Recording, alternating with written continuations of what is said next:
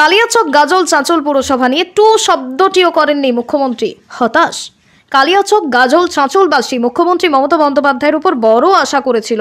আমজনতা ভেবেছিলেন পঞ্চায়েত ভোটের আগে মুখ্যমন্ত্রী মমতা বন্দ্যোপাধ্যায় নিশ্চয়ই কালিয়াচক, গাজল, চাঁচলের জন্য বেশ কিছু প্রকল্পের ঘোষণা করবেন।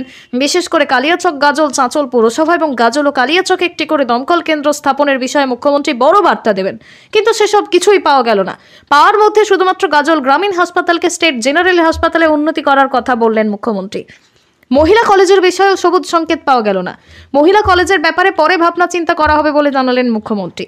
যাকে বলে, একেবারেই বাসিন্দারা হতাশ হয়েছেন। এই দুই এলাকার বাসিন্দারাও চাইছিলেন মুখ্যমন্ত্রী হয়তো গাজলের পাশাপাশি চাঁচল এবং কালিয়াচককেও পৌরসভা হিসেবে ঘোষণা করবেন। কিন্তু এই দিন সেসবের ধার পাশ দিয়েও হাঁটেননি মুখ্যমন্ত্রী। গৌরবঙ্গের তিন জেলার জন্য বারোশো কোটি টাকার প্রকল্পের ঘোষণা করা হলেও মানুষের মধ্যে যে চাহিদাগুলো প্রবলভাবে রয়েছে, তার মধ্যে একটিও বাস্তবায়িত হয়নি।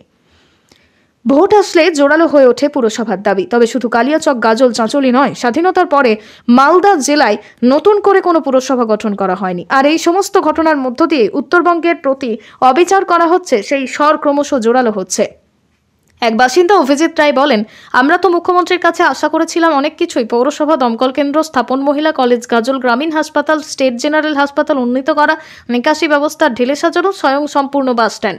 শুধুমাত্র গাজল গ্রামীণ হাসপাতালকে স্টেট জেনারেল হাসপাতালে উন্নতি করার কথা ঘোষণা করেছেন মুখ্যমন্ত্রী, আর কিছুই পায়নি। বালিয়াডাঙ্গার এলাকার বাসিন্দা শিক্ষক ইউসুফ আলী জানালেন, পুরসভা না হওয়ার জন্য বিভিন্ন সমস্যায় জেরবার হচ্ছে আমরা। বিশেষ করে আবর্জনা বা জঞ্জাল ফেলতে গিয়ে চরম সমস্যায় পড়তে হচ্ছে আমাদের। মালদা জেলায় নতুন তিনটি পৌরসভা ঘোষণা করবেন, কিন্তু এই বিষয়ে তিনি কিছুই বললেন না। আমরা হতাশ। মালদা থেকে আবুল কাসেমের রিপোর্ট, পুষ্পপ্রভাত টিভি।